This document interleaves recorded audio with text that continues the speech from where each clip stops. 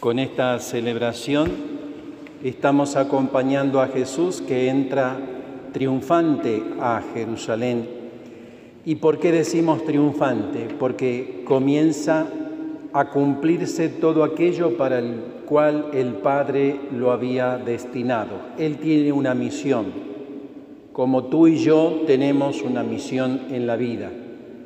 Y la alegría de Jesús al entrar en Jerusalén es comenzar a cumplir ya la última etapa, la más dolorosa, la más radiante de esta misión, que es entregar la vida por cada uno de nosotros.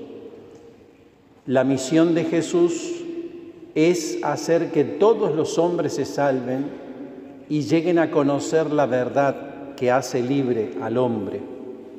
La misión nuestra en la vida es una tarea que tenemos que descubrir. Cada uno de nosotros viene a este mundo y es más, no se va de este mundo, sino cumple esa misión.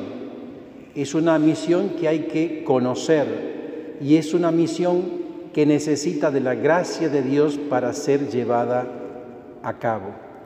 Jesús entra triunfante porque viene a ser obediente y como dice la carta a los filipenses, obediente hasta la muerte, y no cualquier muerte, una muerte de cruz, una muerte sin nombre, ignominiosa, dice la palabra, que era reservada para los malhechores. Y Jesús viene a mostrarnos con tan sublime sacrificio lo que significa obedecer. Como lo dice también la palabra, Dios, Jesús, aprendió por el sufrimiento lo que significa obedecer. Es oír y hacer. Es oír sin pasarlo por la mente, por el pensamiento, por el gusto, por los caprichos humanos. Oír la palabra y dejarnos hacer por ella. Oír la palabra de Dios que es misión en nuestra vida y dejar que esa palabra se vaya tallando en nuestro interior y en nuestro alrededor. Por eso le llamamos Domingo de la Pasión de Jesús a este Domingo de Ramos. La gente lo vivaba y le gritaba Salvador, Osana al Rey que viene, pero a la semana siguiente gritaba Crucifícanlo. Jesús lo sabía, pero participaba con el sentimiento propio del pueblo en cada etapa, en cada momento. En este Domingo de Ramos era de gloria, ellos sin entender estaban cumpliendo la voluntad de Dios de acoger a Jesús que entra en Jerusalén.